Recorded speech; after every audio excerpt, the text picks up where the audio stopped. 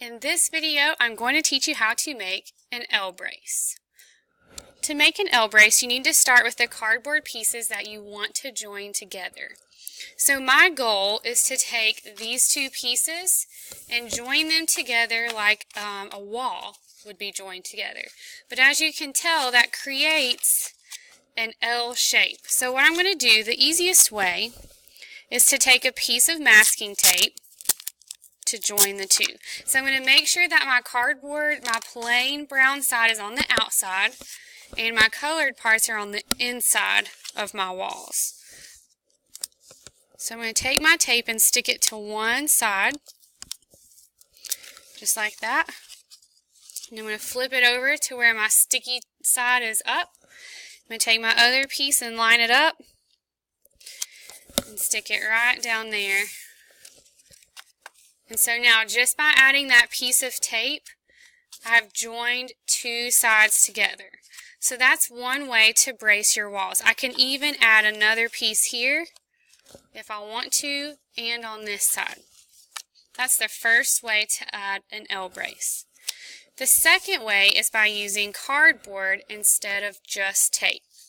So I'm going to take another one of those cereal box pieces with the tab you can kind of see a little better on this side.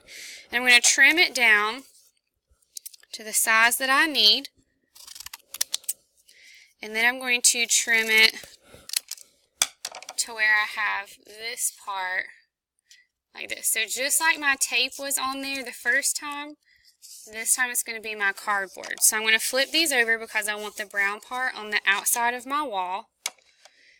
And I'm going to glue this here and then this right there. Now normally I would use hot glue. Today I'm going to use regular glue to show you. You can even use tape if that's your only option. You can tape it down. You can even do glue and tape if you want it to hold extra tightly. If you have hot glue, that should do the trick. So I'm going to glue my one side down, fold this over, put some more glue, and then lay my other piece right on top where it needs to stick. Hold it down for a few seconds, squeeze it extra tight. So now when it opens, my cardboard is stuck together and as you can tell it's not flopping as much as the one with the tape. So depending on the strength that you need will depend on which materials you want to use. And there you have it, how to create L braces.